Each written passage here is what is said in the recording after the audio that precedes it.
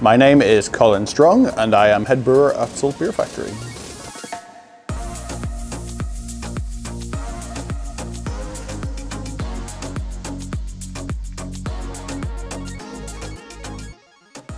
My brewery story began in the year 2000 in Liverpool. I was uh, in the midst of dropping out of university and working in a brew pub. Uh, didn't really know what I was going to do it myself. I was a little bit lost, to be honest. Head brewer at the brew pub was the son of the manager of the pub, and he decided that they couldn't work in the same building anymore because they used to fight like cat and dog. His dad asked me to, whether I would get involved, not due to my vast love of beer or brewing or my knowledge.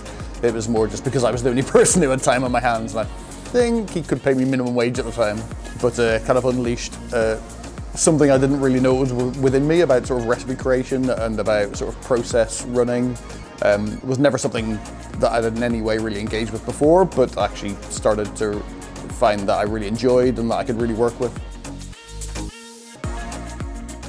From speaking to uh, the, the team here, I sort of felt that we had sort of a, a kinship in what we really wanted to achieve through brewing, uh, that we wanted to make hop forward, inventive, uh, creative beers, but at the same time we, we wanted to make them accessible and, and, make them available to the wider public and engage the wider public and, and give them a hopefully a better knowledge of what goes on here.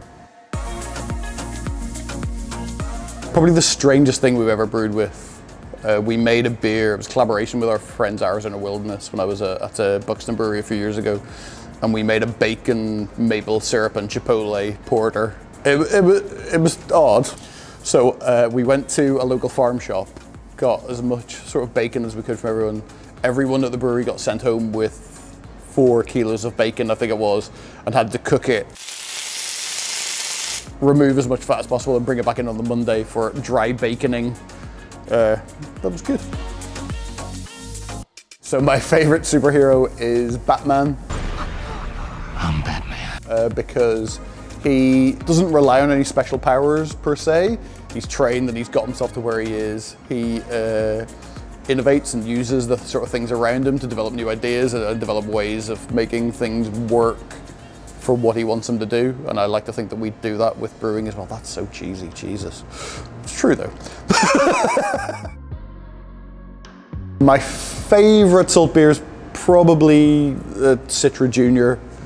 It's 4.3% uh, session IPA uh, made with all Citra hops. It was the first new recipe I did when I started Salt. I mean, it was the recipe was written as a bit of a cop out because I thought, right, it's my first one got to nail this. It's got to be really good.